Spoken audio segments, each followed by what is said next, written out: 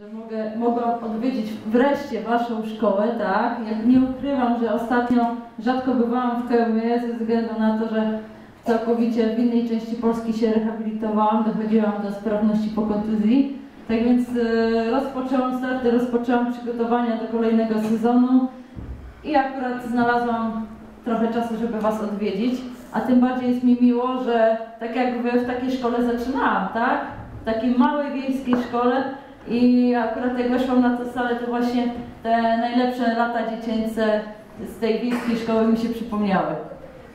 Żeby, tak, żeby Wam nie było tak nudno, przygotowałam kilka zdjęć, tak? Żeby Wam troszeczkę pokazać zdjęcia z walk, zdjęcia z zawodów, jak wyglądają treningi, e, także z ciekawych miejsc, do których podróżujemy przy okazji e, obozów, zgrupowań zawodów, tak?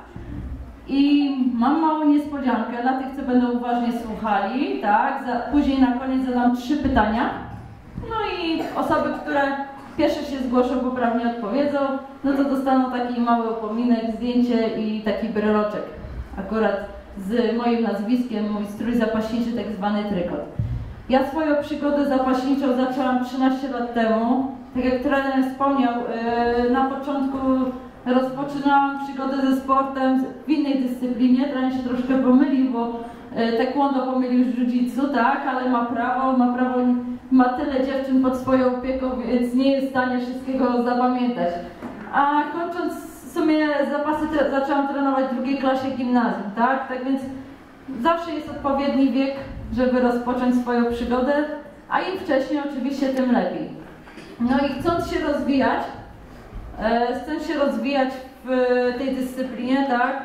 Tak, e, w sumie ponad 400 km przemierzyłam do szkoły w Chemie, tak? Więc to dla mnie było e, dosyć znaczące, to był mój znaczący krok tak naprawdę w mojej karierze, ale także wiadomo, wiązało się to z rozstaniem z rodziną, tak?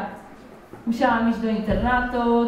Pierwszy raz wróciłam do domu dopiero po dwóch miesiącach na kilka dni na święto wszystkich zmarłych, a później dopiero na Boże Narodzenie.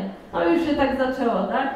Ale myślę, że to kwestia przyzwyczajenia, kilka lat, wiadomo, że za domem się tęskni, ale jeżeli ktoś ma y, jakieś swoje takie główne cele, wyższe cele, wiadomo, jest w stanie pogodzić rodzinę i możliwość dążenia do tego celu, do spełnienia swoich marzeń.